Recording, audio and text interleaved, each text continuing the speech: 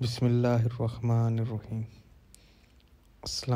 रहमतुल्लाहि व बरकातुहू अहमद राजा टीवी में सबको खुश आमदीद।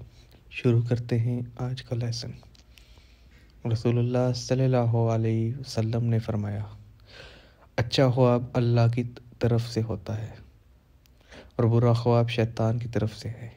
इसलिए अगर कोई बुरा और डरावना ख्वाब देखें तो बाएँ तरफ़ थू थू करके शैतान की शर से अल्लाह की पनाह मांगे। इस अमल से शैतान इसे कोई नुकसान न पहुँचा सकेगा। सही बुहारी की हदीस नंबर तीन हज़ार दो सौ बानवे है।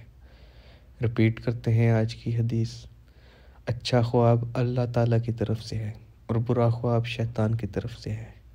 इसलिए अगर कोई बुरा और डरावना ख्वाब देखे तो बाएँ तरफ़ थू थू करके शैतान के शर से अल्लाह की पनाह मांगे। इस अमल से शैतान इसे कोई नुकसान ना पहुँचा सकेगा। सही बुखारी की हदीस है तीन हज़ार दो सौ बानवे। अल्लाह ताला हमें अपनी हिफ्ज़ अमान में रखें और शैतान के शर से बचाए। आमीन सुम आमीन।